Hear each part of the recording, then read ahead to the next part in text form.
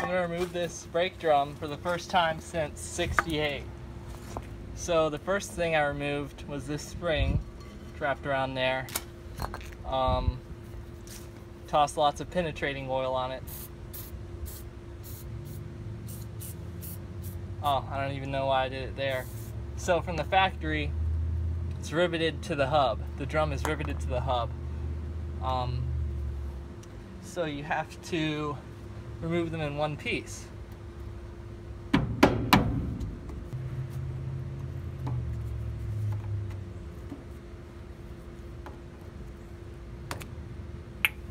Alright, and then there's lots of grease on the castle nut. So just to reveal the castle nut, wipe it off, and uh, take the cotter pin out.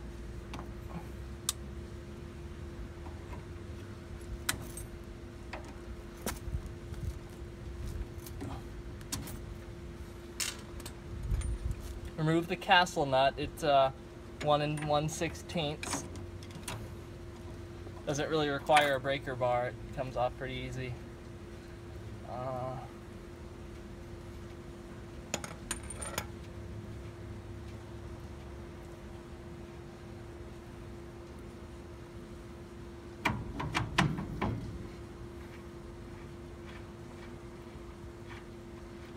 the wheel bearing will just come on out as well.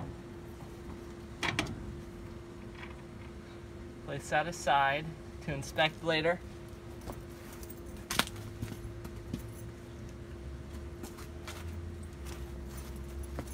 And then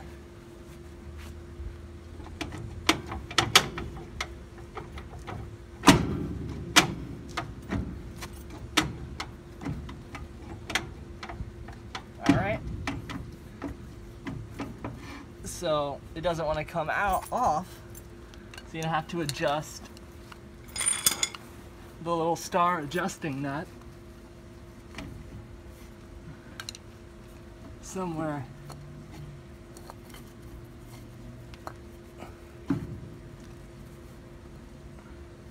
Right here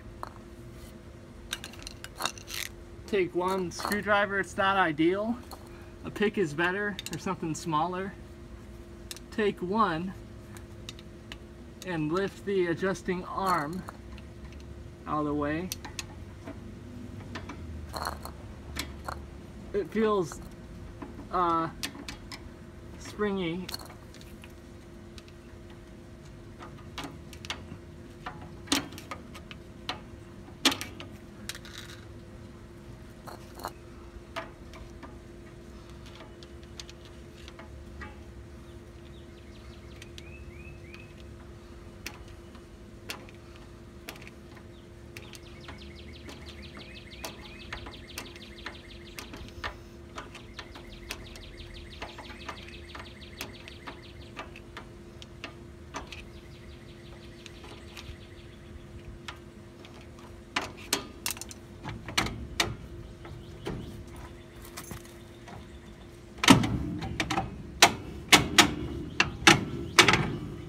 All right, so twisting it up also worked on the passenger side.